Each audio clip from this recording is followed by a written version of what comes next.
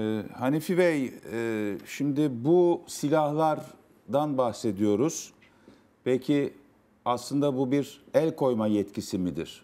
Yani devlet işleyişinde e, bir kurum diğerinin elindeki teçhizata, burada mal olarak geçiyor bu ama teçhizat ve ekipmana, ekipmanı kendi bünyesine aktarmak e, istediğinde sadece bu ekipmanı mı alır yoksa bu ekipmanı kullanmakta mahir uzman personeli de mi alır?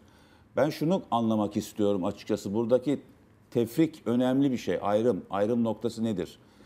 Ee, misal bir örnek verelim. Hipotetik konuşuyorum.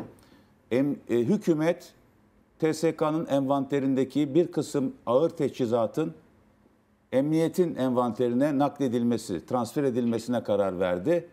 Toplumsal olaylar karşısında. Bakın burada terör olayları da demiyor. Bu da ayrıca tartışılmaya ma- e, muhtaç bir durum. Şimdi burada nasıl olacak? TSK'nın e, silah ve teçhizatı mı alınacak? Peki o silah ve teçhizatı kullanmakta yetkin uzman personel ne yapacak?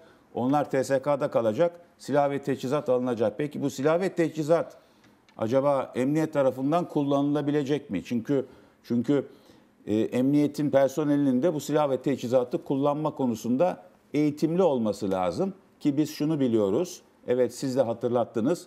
Geçmişte 90'lı yıllarda ben de hatırlıyorum. E, polis e, harekat, e, özel harekat birliklerinin havan topu gibi ağır silahlarının e, alınması gibi e, yani polisten alınması ve orduya devrilmesi gibi TSK'nın bir girişimi olmuştu ve sanıyorum da bu gerçekleştirilmişti. Bugün de e, emniyetin elinde e, yanlışım varsa düzeltin. E, şey genel maksat helikopterleri var. E, hatta atak e, saldırı helikopterlerinin de e, ol, olmasından da söz edildiğini e, ok, okudum e, bir yerlerde. Şimdi bu nedir? Yani bunun bir netleştirilmesi lazım. Her şey kanunda yazdığı gibi anlayacaksak burada silahların devri. Peki o devredilen silahlar e, kimler tarafından tarafından kullanılacak? kullanılacak? Personel ne olacak?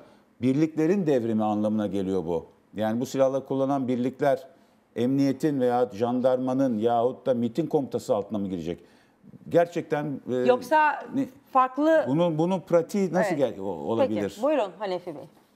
Burada gördüğümüz kadarıyla sadece sadece mal ve malzemenin devrinden bahsediliyor. Yani personel devri, onu kullanacak kişilerden bahsedilmiyor.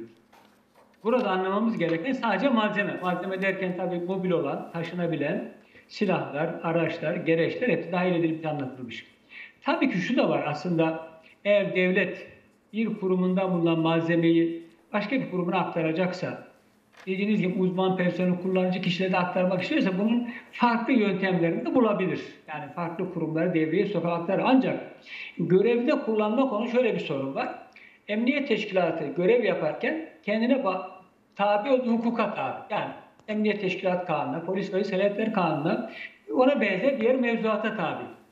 Diğer güçler ise kendi kanunlarına tabi. Belki bunlardan jandarma ile emniyet birbirine çok kolay kullanabilirsiniz çünkü mevzuat buna müsait. Ama bir silahlı kuvvetleri veya Milli İstihbarat Emniyetin sahasında silahlı kuvvetleri emniyet sahasında kullanmak çok da kolay değil. Ancak farklı bir kanun, il idaresi kanunu kendi orijinal maddeleri var. O maddelere dayanarak çağrısını kullanırsın. Yoksa bu yönetmene dayanarak çağrı kullanamazsınız. Çünkü polisin fiili görevlerinde söylüyorum.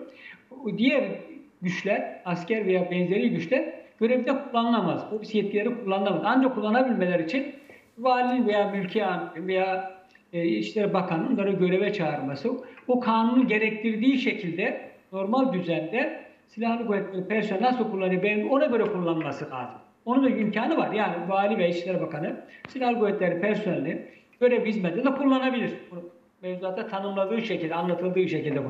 Bunu yapmadan bu yönetmeliğe dayanarak insanlarını kullanamaz diye kanaatindeyim. Çünkü görev esnasında polis ve seyahat kanunu kullanamazlar, polise verilen diğer yetkileri kullanamazlar, hukuki başka sorunlar çıkar. Ya sıkı yönetim ya olağanüstü hal gibi olaylar hariç şu andaki mevcut bu yönetmeliğe dayanarak insan kullanılmasına müsaade etmez gözüküyor. Benim görebildiğim, anladığım kadarıyla. Diğer mevzuat da bunu, buna müsaade etmez. Ama malzeme olur. Her türlü malzeme taşıyabilir, kullanabilir, götürebilir. Tank götürebilir. efendim diyelim bu silahları taşıyabilir veya farklı tür araçları taşıyabilir.